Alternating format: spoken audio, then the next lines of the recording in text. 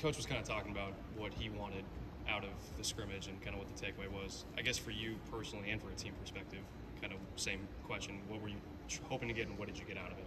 Oh, we wanted to play uh, our first basketball game, real basketball game together. We wanted to knock a lot of dust off, being in Moody, not knowing how the fans are, them not understanding how competitive the league really is, and um, the expectation that you know the community holds on us. Um, but um, we had a great takeaway from the game. We knew what we wanted. We wanted to play hard, first of all, defensively, defensively mindset. I believe we did that. Turnovers messed us up in that category a little bit because you take one away and you give it right back. But um, you know, it's it's really an uphill battle with us right now. And we got a lot of room to grow. We got you know a, lot of work to do.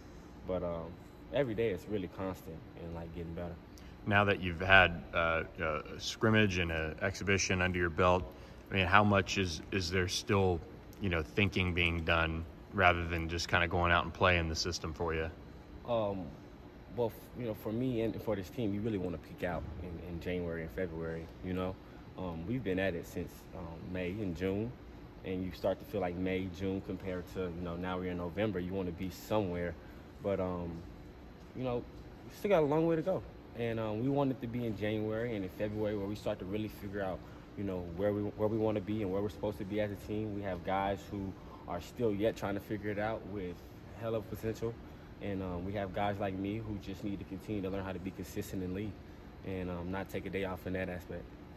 Can that be tough being a competitive person and maybe wanting perfection now to understand that it is part of a process and that you guys are building towards something? Yes, it is tough. It's, it's a tough thing, but when I came in last year with Coach Jenk, I think we brought in about six or seven new as well. Um, we had a lot more leaders, you know. It's um, it's a lot younger team this year, and then that's where my role comes in play to be the leader. And then I find out that I thought I was a good leader. Then I was like, okay, I'm not as consistent as, as I need to be, or my leadership compared to everybody else's isn't where it needs to be. And um, you, know, you got to kill the head of the snake, and you got to really start with the head of the snake. And um, my job is to to be a double downer on whatever Coach Lanier wants for this team, and I'm gonna have to be a better player at that in person. Is this for you? This is three coaches in three years you played for. What's all this change been like for you? Um, I say it every time. The change is refreshing. When I came in last year with Jenk, I could not speak any different about that, and and, and um, what I went through. Like I said back in media day, it was all about maturation for me, experiencing something totally different, accepting a different role, and still being the same person every day. You know, that's where respect comes into play.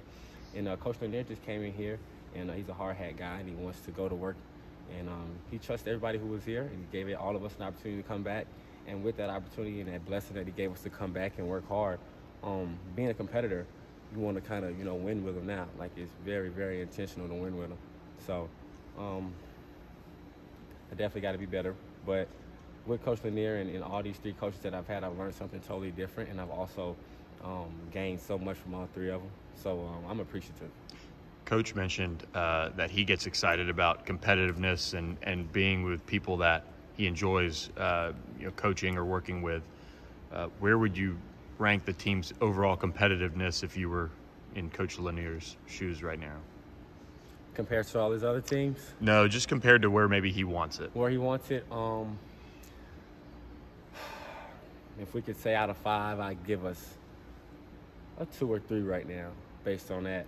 Um, we just make a lot of mental mistakes. You know, you can be competitive and you can want it really bad, and you can want it really bad for yourself, but um, it's a team sport. So I can go into a game and say I'm prepared and I was ready to go. I don't know why we played in that of that caliber. I don't know why I played like that, and it's because I was focused on myself and how good I was going to play, or maybe how good I was going to shoot. You know, maybe if I took the pressure off and worried about what I could do, and I put the pressure on, making sure everybody was ready as a team, then they all would have fell in order for all of us. So um, we just had a quick conversation, me and Coach Lanier and the whole team of Coach Lanier. A lot of our guys are, are new here and are in new positions where they get a bigger opportunity to showcase who they are. And um, with that opportunity, you know, we just have to be more conscious of what's the you know most important thing, and that's coming in, defending, getting on the first loose ball, not turning the ball over, and, and the shots and everything else will fall. What do you think, like, coaches' increasingly high standard, like, helps this team do? You know, coach has a super high standard. Uh, man, the standard for this team, you know, um, just the way we practice, first of all. You know, he sets a standard in practice every day, whether it's, you know, starting with board taps or finishing with 86 layups in two minutes or, you know, guard one-on-one, full turns, half court. You know, he's really setting the tone and setting the pace for this team every day. And uh, like I said, as a leader, I have to double down on what he desires, you know. So I have to come in and I have to be just as ready. So if he says on the line, 10 second sprint, I got to be the first in 10 second sprint, you know. So that's where the toughness comes into play. And then being human, you have days where you want to come in and be, you know, tired, or you have days where you come and it's like, okay, maybe not a 10 a day, maybe I feel like a nine. I'm gonna give 100% of my nine, you know. But um, just trying to be as consistent as I can be, leading and pushing everybody, and then um, first and foremost pushing myself to be my best self, um, is what goes along with him and his intensity.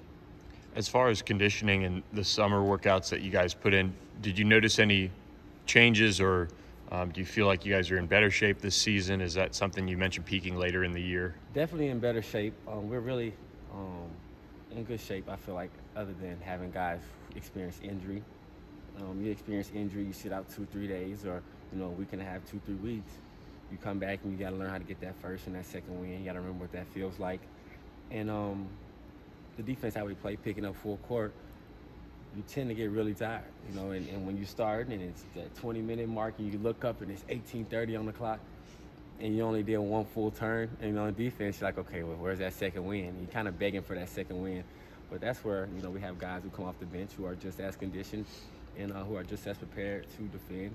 And um, you know, we got to be better at, at, at, pushing each other, you know, whether you're starting, whether you're coming off the bench, the intensity and, and how we practice today and yesterday um, is how we need to really, really perform on the court. Coach talked about looking at the eyes of the timeout during that game and seeing more self doubt than mm-hmm. you would like. I guess, and he his whole goal is to have everyone looking back with confidence. Right. I guess is that something early in the season that you guys can manufacture without, you know, that you can create, or is it something that maybe you kind of have to go through it and create? Well, you definitely have to go through it.